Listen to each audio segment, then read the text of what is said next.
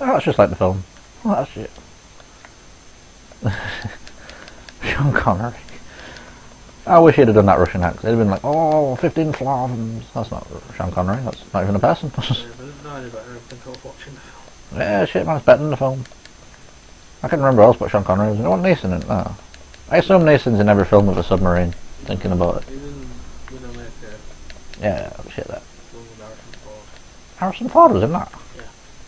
Yeah. they? Yeah, with that Widowmaker, Oh, very fucked up, man. Year 1 9 or whatever the hell it was called. I've just started Das Boot.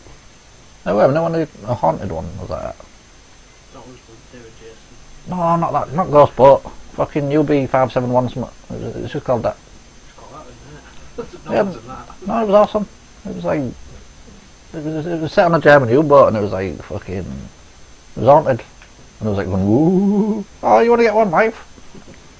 The Of fuck? course you do. This is the Russian. Connery's hardcore. Don't mess with them. Connery was pissed. and Jack Nicholson, oh, who else was in this fucker? Um, shit. It was Alec Baldwin. No, it wasn't. Yeah. No, fuck Alec Baldwin. I'm off now. Connor's had his Weetabix. He's like, fuck these. uh, Fucking. I had a Moby Dick dream, I just remembered. Well, you know, it was like that. There was a fucking big whaling ship and, oh, that was weird shit that went on in that. Oh, shit, it's got surface to air missiles and you can turn around to build one. Don't crash again.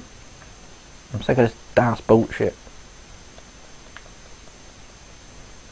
I bet they was bombing each other to fucking. Yeah, Das Boot set on a real thing, and it was like a Russian submarine just failed, and it was at the bottom of the sea for like three months or something. I can't remember. It might have been a bit less than that. Yeah, made that fucking TV show for yeah, but I reckon it was just some under, undersea bombage. Proper fucking. We're gonna die. Turn the lights out and just run at the first person you can smell.